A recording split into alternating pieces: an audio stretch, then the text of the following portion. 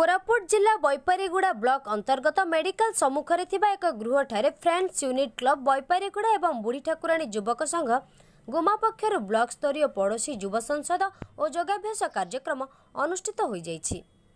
ଉକ୍ତ କାର୍ଯ୍ୟକ୍ରମରେ ବୈପାରିଗୁଡ଼ା ପଞ୍ଚାୟତ ସମିତି ଅଧ୍ୟକ୍ଷା ଶ୍ରୀମତୀ ସରୋଜିନୀ କାଣ୍ଡିକି ଯୋଗ ଦେଇଥିବା ବେଳେ ସମ୍ମାନୀୟ ଅତିଥି ଭାବେ ଡକ୍ଟର ବିଶ୍ୱଜିତ ଭୂଇଁଆ ବନାଞ୍ଚଳ ଅଧିକାରୀ ଶ୍ରୀଯୁକ୍ତ Ramesh Chandra Rout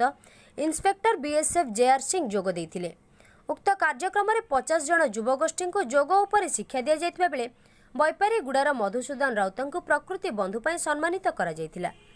ଏହି କାର୍ଯ୍ୟକ୍ରମରେ ଡକ୍ଟର ବିଶ୍ୱଜିତ ଭୂଇଁଆ ଯୋଗ କରିବା ସହିତ ସ୍ୱାସ୍ଥ୍ୟ ପ୍ରତି ଲାଭଦାୟକ ବୋଲି ବୁଝାଇଥିଲେ ଉକ୍ତ କାର୍ଯ୍ୟକ୍ରମକୁ କେଶବ ଖିଲ୍ ଭୀମସେନ ହରିଜନ ରବି ସର୍ଗରିଆ ମନ୍ଦାକିନୀ ପାଇକ ପ୍ରମୁଖ ସହଯୋଗ କରିଥିଲେ କୋରାପୁଟରୁ ଶରତ କୁମାର ଲେଙ୍କାଙ୍କ ରିପୋର୍ଟ ଜିଲ୍ଲା ଖବର